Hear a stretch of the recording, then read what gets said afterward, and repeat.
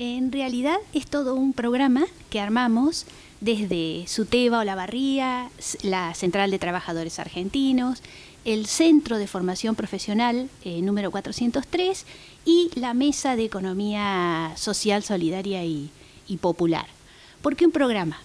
Porque vamos a presentar una muestra fotográfica que se llama Un grito urgente. Vamos a hacer un conversatorio a cargo de Celeste Madueña sobre el cuerpo y la moda. Y mientras tanto, en la calle, en la vereda, una feria de mujeres productoras y emprendedoras de la economía social. O sea que va a ser una actividad 100% femenina. Absolutamente. Eso desde las 18 horas hasta las 21 del día sábado 7 de marzo. ¿En qué lugar? En la calle San Martín, entre Moreno y La Madrid.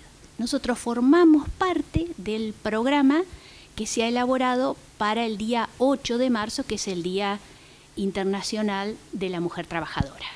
¿Cómo surgió este programa de unir varias instituciones?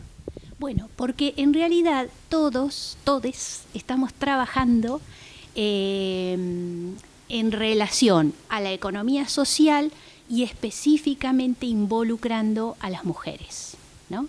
Entonces, desde el centro de formación, ¿no es cierto que desde el área de educación, sumado al, trabajo, desde la mesa de economía social, que nos interesa profundamente, más desde el encuentro que tuvimos en noviembre, y por supuesto eh, SUTEBA y CTA, que une educación y trabajo también. Bueno, ¿qué tipo de emprendedoras va a poder encontrar la gente que se acerque? De todos los rubros desde las, em, la costura, desde el arte, eh, desde los alimentos, em, a ver si me estoy olvidando, eh, también desde lo decorativo, desde lo artesanal.